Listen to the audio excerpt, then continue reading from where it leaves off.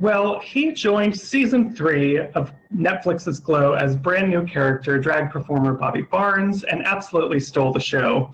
I'm Sam Ekman of Gold Derby, and with me is Kevin Cahoon. Thank you so much for talking with me, Kevin. Thank you.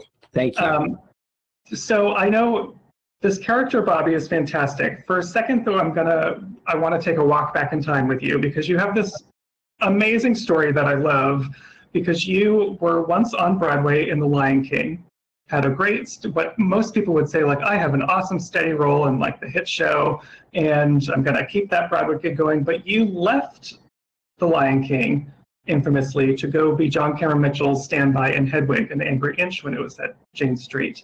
So what like what prompted you to do that? What made you take that huge leap?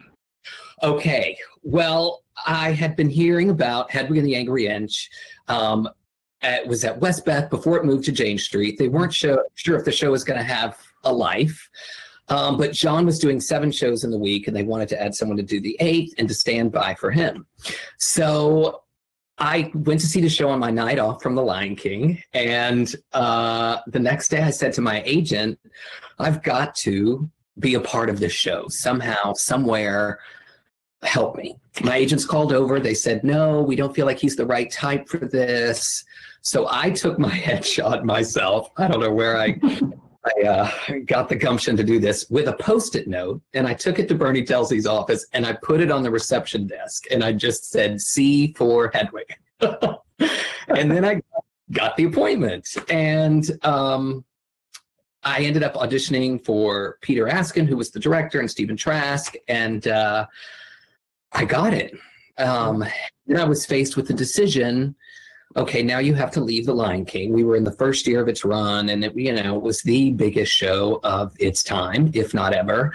And um, I thought, well, I'm going to go stand by off Broadway for a show that may not run. It was, um, I think it was four hundred dollars a week was the paycheck, and it a lot. Of, my agents at the time said, "You're you're nuts. You're losing your mind. What are you doing?" I just have to do it. This show, this character, it has spoken to me in a way nothing else has ever spoken to me. It's a benchmark moment in musical theater and in telling stories of LGBTQ people that were, you know, disenfranchised. And I just thought, take this risk, take the risk, take the leap. And so I did it. I did not re-sign my Lion King contract. Hedwig and the Angry Inch you know, continues to be to this day the gift of all gifts that has given me so many things in my life and in my career. And, um, you know, and I'm not saying I wasn't nervous to leave Lion King to go. well, if this runs a month, then I've given up my my role in this steady paycheck and steady job. Um, and I love the Lion King, and I love the people, and I love the role, and it was, you know, one of the greatest greatest gifts of my life, but I just thought, jump off the cliff, you know, take the take. Yeah. Yeah. Well, it, it certainly turned out well for you. Um, part of a cultural phenomenon, really, with that. And drag, basically, you know, both of Bobby and that role are you're getting into drag for them. And I'm curious, were had you performed in drag at all? What was your relationship like to that art form? I hadn't really. Hedwig was the first time that I had ever performed in drag or had been in drag. Um, and then it sort of opened this door for the rest of my life, which is spectacular. And, you know, I've done Rocky Horror a number of times. I did The Wedding Singer on Broadway. And then Bobby Barnes showed up. And um, Hedwig and Bobby Barnes were, are both similar characters, that they are fighting and climbing every bit of every rung they can find to land on their feet.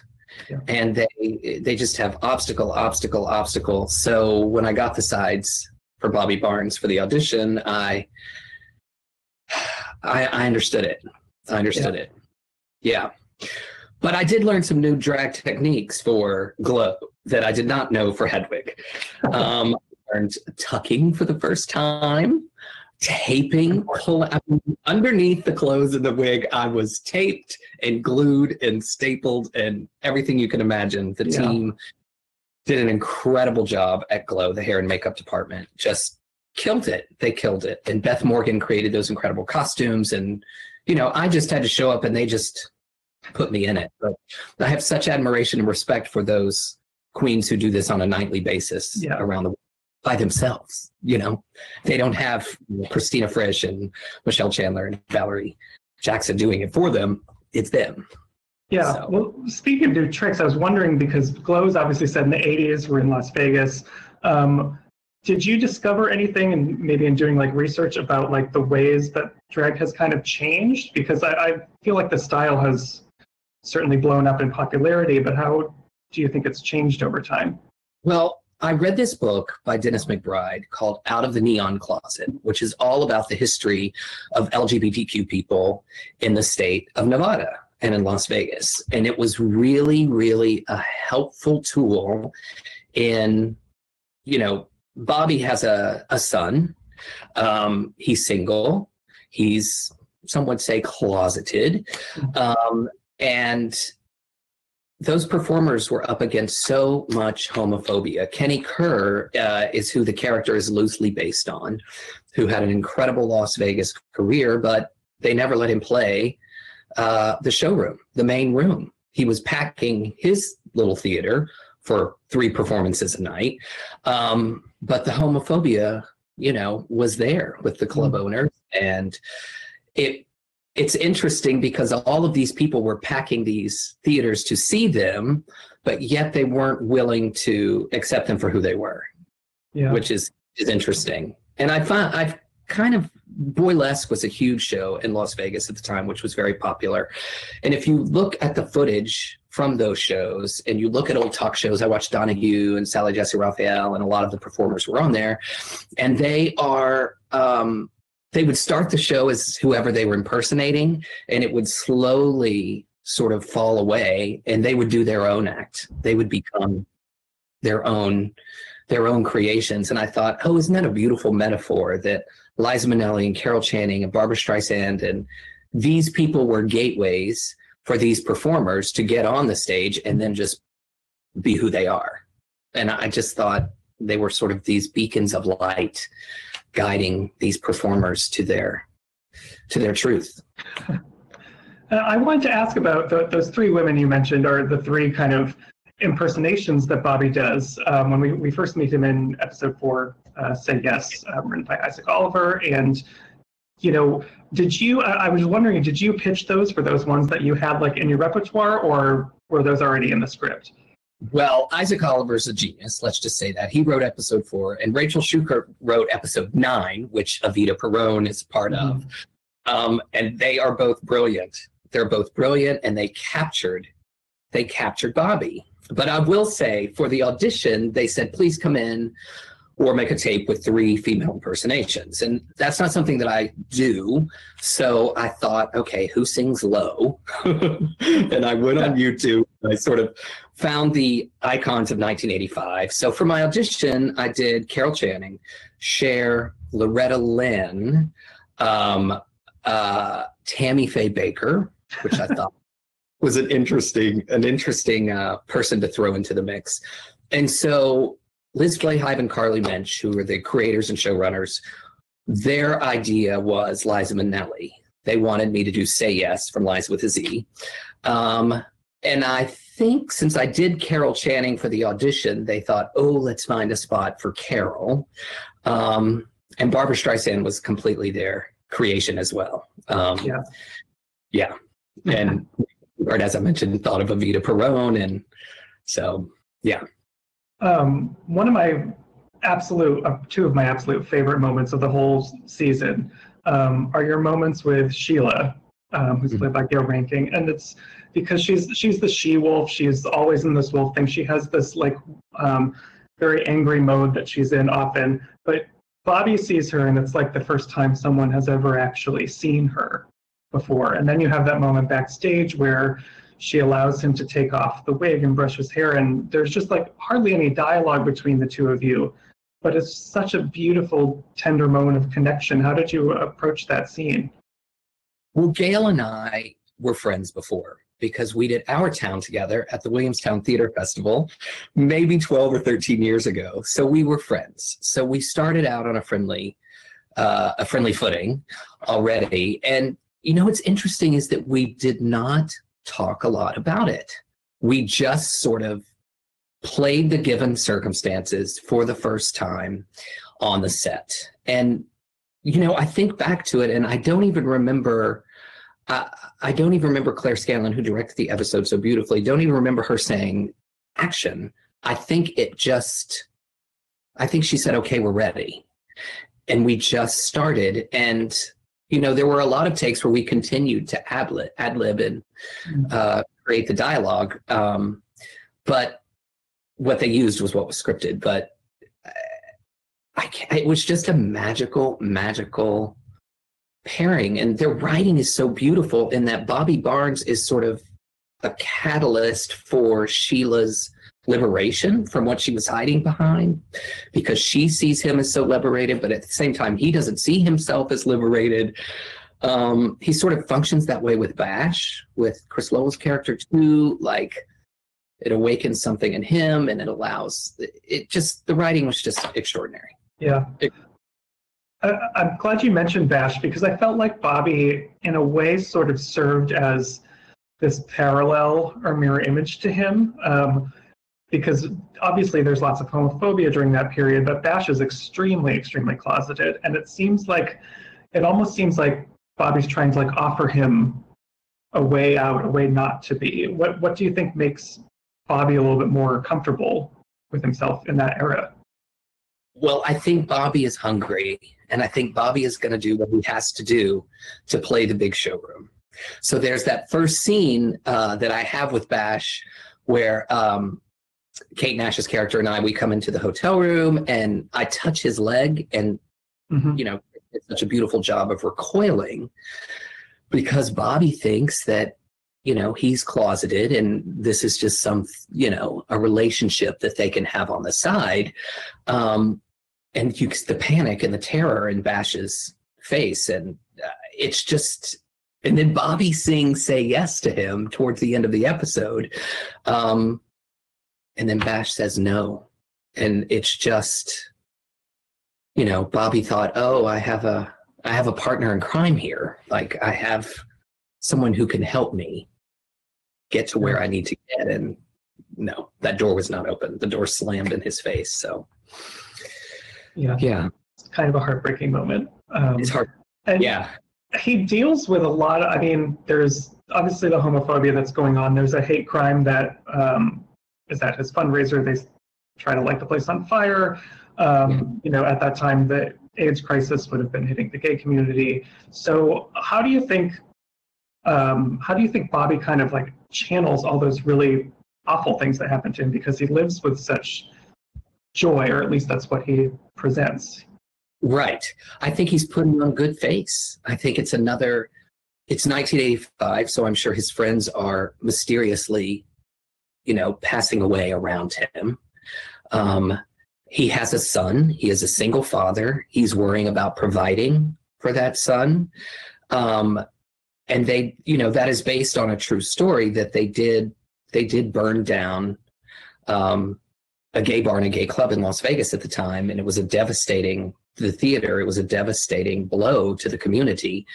Um, so that's based in truth, and I just feel like he's a survivor. He is a survivor, and he was going to do what he had to do. And if that means putting on a happy face and putting up that armor and putting up that shield, um, that's what he was going to have to do. But I think the stakes are really high for him because his friends are dying around him.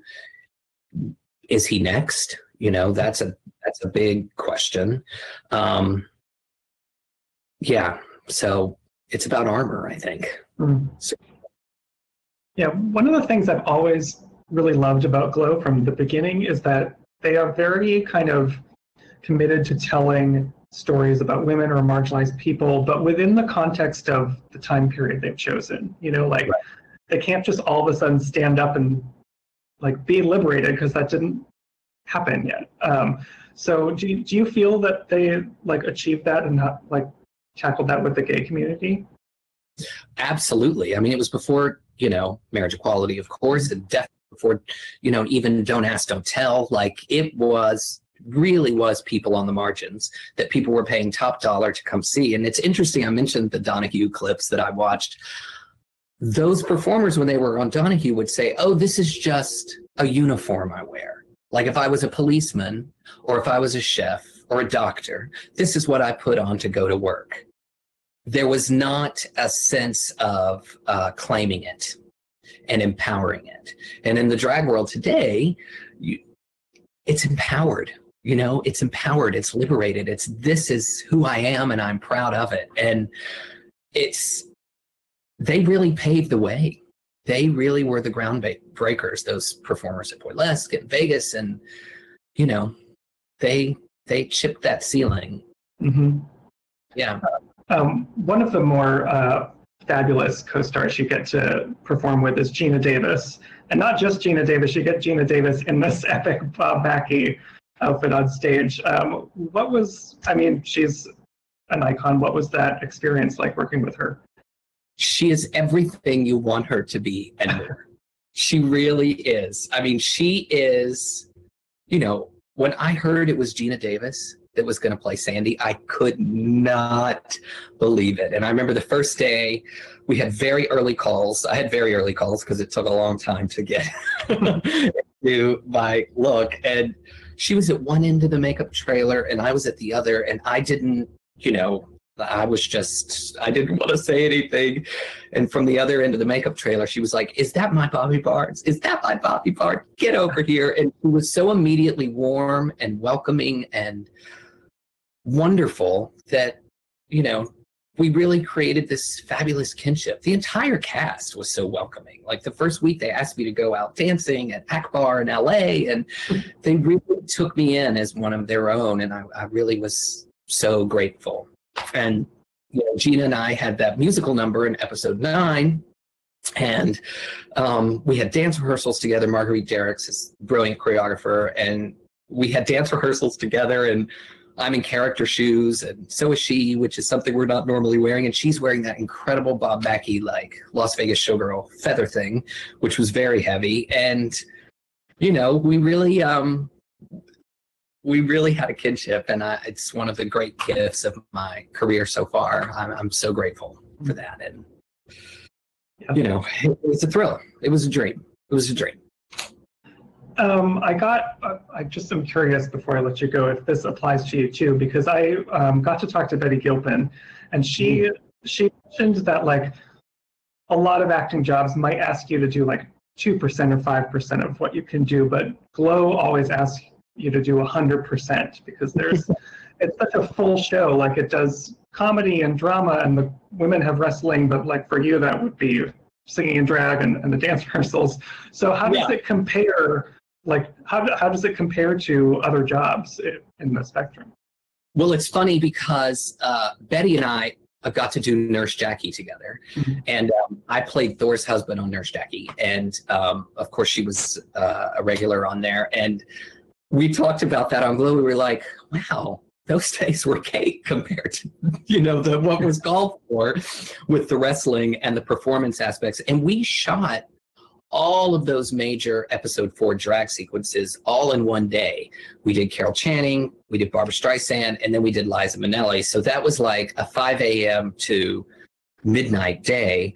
And it was a full, a full take everything off and put a whole new thing on. Um, it was so it was demanding, but when you're doing something that you feel so honored to do and that you are so in love with, you don't think about that. You don't think about the hard part. You don't even you don't even think you know the next morning i did wake up from doing that full day and there was smoke and i had to smoke and my voice was really very very in the basement. Um, and i had to do a whole vocal warm up so i could be ready for the next day. But it was that morning when i woke up that i thought oh wow you really you put yourself through the ringer. But i didn't care. I mean i do it every day please to get this role on this show where everyone is at the top of their game a show that i loved before i even got the audition it just it was a dream it was totally totally a dream and an honor well it all turned out really well it's a fantastic job uh, on the show. Um, everyone who's out there watching, make sure you subscribe to Gold Derby. Keep up to date with us throughout Emmy season. Kevin, thank you so much for joining me. Bam, thank you. I appreciate it.